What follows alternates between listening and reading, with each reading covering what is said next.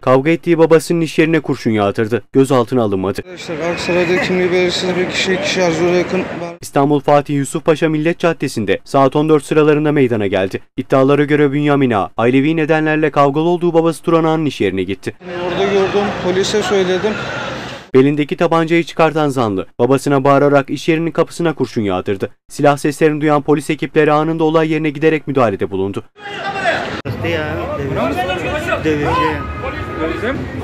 Şüpheli Bünyamin Ağa, silahıyla birlikte emniyete götürülürken olayda ölen ya da yaralanan olmadı. Olay yerinde incelemelerini yapan polis ekipleri konuyla ilgili çalışma başlattı.